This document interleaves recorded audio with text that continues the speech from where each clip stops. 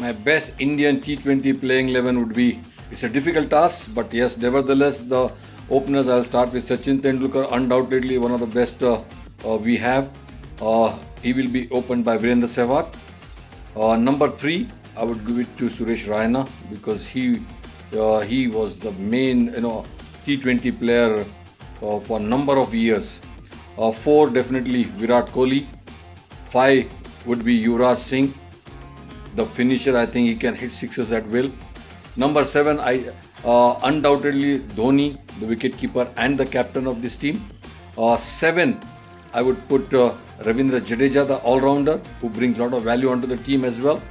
Uh, eight, I would go for Harbhajan Singh, who can bowl off his spinners and he can bat and a brilliant fielder. And then the 9, 10, 11, definitely the fast bowlers. Uh, the 9 would be Zaheer Khan, the left-hand fast bowler. Uh, 10 would be uh, Bumrah, undoubtedly the best uh, T20 bowler. And 11th, I would pick Bhuvnesh Kumar, I think, who has been doing consistently well over a period of time in the shorter format of the game.